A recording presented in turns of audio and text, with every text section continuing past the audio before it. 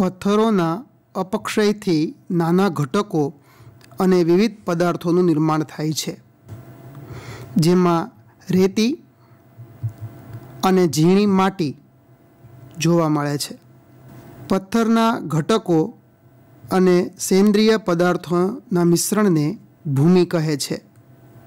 ભૂમિમાં રહેલ સેન્દ્રિય પદાર્થોમાં બેક્ટેરિયા, વનસ્પતિના મૂળ, અળસિયા વગેરેનો સમાવેશ થાય છે. ભૂમિનું વર્ગીકરણ તેમાં રહેલા વિવિધ કણોની માત્રા તેમજ કણોના કદના આધારે થાય છે. ભૂમિમાં રહેલા કણોનું કદ ભૂમિની ગુણવત્તા પર ખૂબ જ અસર કરે છે. ભૂમિમાં રેતી અને માટીનું પ્રમાણ તે કયા પ્રકારના પથ્થરમાંથી ઉત્પન્ન થયા છે તેના પર આધાર રાખે છે. આ પથ્થરને પિતૃ પથ્થર કહે છે. રેતાળ ભૂમિમાં રેતીના કણો મોટા હોય છે. આ કણો એકબીજા સાથે ગાઢ રીતે જોડાયેલા હોતા નથી. માટે તેમની વચ્ચે ખૂબ જ અવકાશ જોવા મળે છે.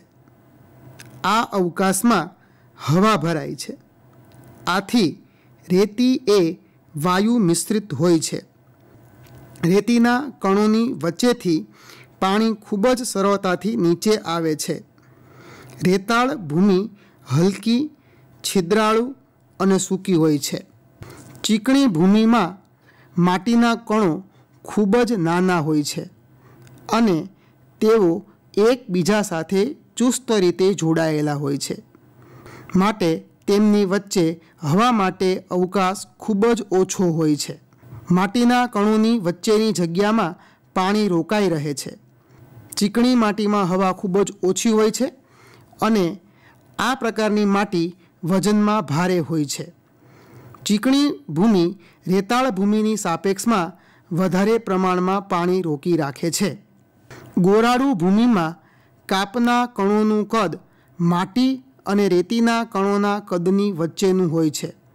ગોરાળુ ભૂમિમાં રેતી માટી અને કાપના કણોનું મિશ્રણ હોય છે. ગોરાળુ ભૂમિ વનસ્પતિ વૃદ્ધિ માટે યોગ્ય જલધારણ ક્ષમતા ધરાવે છે.